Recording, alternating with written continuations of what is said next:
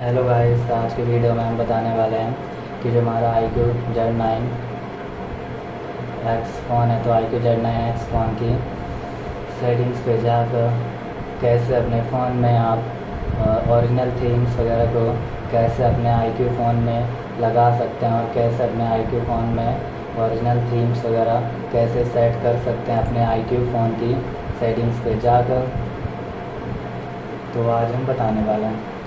कि फ़ोन में original themes वगैरह को आप कैसे लगा पाएँगे और कैसे सेट कर सकते हैं।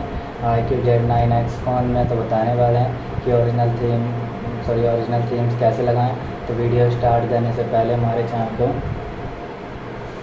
लाइक करें, सब्सक्राइब करें, साथ में ही बेल आइकन दबाना ना भूलें। तो आइकन शो हो रहे हैं जिसमें स्वाइप करना है। स्वाइप करते ही ऑल आइकन ओपन हो जाएँगे, जिस पर जाकर ओरिजिनल थीम्स वगैरह को आप अपने फ़ोन में लगा सकते हैं और सेट भी कर सकते हैं अपने आई फ़ोन में तो सिंपली देख सकते हैं। इसमें से आपको सेटिंग्स पे जाना है और क्लिक करते ही फ़ोन की सेटिंग से ओपन हो जाएगी।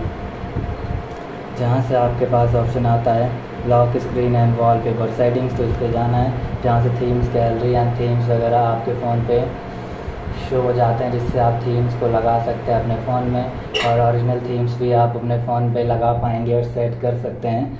आई क्यू फ़ोन में तो सिंपली थीम सेटिंग्स पे जाना है। तो जब आप थीम्स सेटिंग्स पे जाते हैं तो थीम्स सेटिंग्स पे जाकर भी ओरिजिनल थीम्स को लगा सकते हैं और सेट भी कर सकते हैं आई क्यू फ़ोन में। जिसमें से आपको थीम्स लगाना है। डाउनलोड भी आप थीम को कर सकते हैं, यहाँ से ओरिजिनल थीम जो भी आपका शो हो रहा है तो अप्लाई करके आप बदल सकते हैं और चेंज कर सकते हैं। तो इस तरीके से भी थीम्स को लगा सकते हैं और चेंज कर पाएँगे आई क्यू फ़ोन में। तो आपको वीडियो अच्छी लगी तो लाइक करें सब्सक्राइब करें, साथ में बेल आइकन दबाना ना भूलें। Thank you